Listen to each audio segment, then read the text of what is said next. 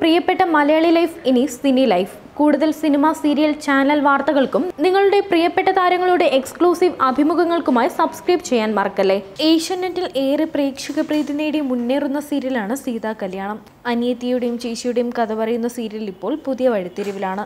തനിക്കെതിരെയുള്ള തെളിവുകൾ കൈക്കലാക്കാൻ രാജേശ്വരി സീതയെ കൊല്ലാൻ ശ്രമിക്കുന്നതാണ് കഴിഞ്ഞ എപ്പിസോഡുകളിൽ പ്രേക്ഷകർ കണ്ടത്. ഇതേ തുടർന്ന് രാജേശ്വരി ദേവി ഹീറ്റർ കേടാക്കി ഷോക്കടിപ്പിച്ചതോടെ സീത ആശുപത്രിയിലായി. എന്നാൽ ഷോക്കേറ്റതിനെ തുടർന്ന് സീതയ്ക്ക് മാനസിക വിഭ്രാന്തി ഉണ്ടാകുകയും അഞ്ചു വയസ്സുകാരിയുടേതുപോലെ പെരുമാറുകയും ചെയ്യുന്നു. രാജേശ്വരി ദേവി കാണുന്ന സീത അമ്മയെന്ന് വിളിച്ച് സ്നേഹത്തോട് പെരുമാറുമ്പോൾ സീതയ്ക്ക് ഒരമ്മയുടെ പരിചരണം രാജേശ്വരി നൽകണമെന്നാണ് ഡോക്ടർമാർ പറയുന്നത്. ഇത് സംബന്ധിച്ച സീതയെ രാജേശ്വരി വീട്ടിലേക്ക് കൂട്ടിക്കൊണ്ടുവരുന്നു. സീത വീട്ടിൽ വട്ട് കാണിക്കുന്നതും രാജേശ്വരി ദേവി സീതയെ കഷ്ടപ്പെടുത്തുന്നതുമാണ് കഴിഞ്ഞ എപ്പിസോഡുകളിൽ പ്രേക്ഷകർ കണ്ടത്.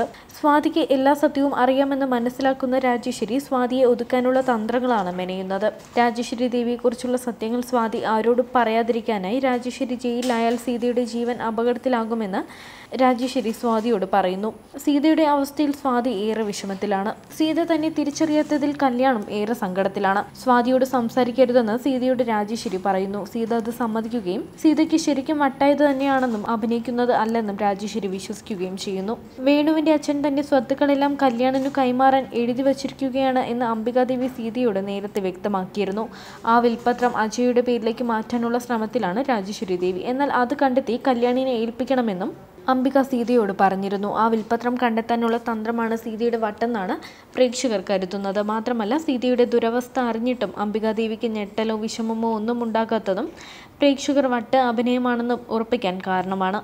സീതയും രാജേശ്വരിയും വ്രതത്തിലാണെന്ന് പറഞ്ഞ് സീതയെ ആഹാരം കഴിക്കുന്നതിൽ നിന്നും രാജേശ്വരി വിലക്കിയിരിക്കുന്നതാണ് കഴിഞ്ഞ എപ്പിസോഡിൽ കണ്ടത്. വ്രതത്തിലാണെന്ന് സീതയെ പറഞ്ഞ് വിശ്വസിപ്പിച്ച ശേഷം രാജേശ്വരി ഭക്ഷണം കഴിക്കുന്നുമുണ്ട്.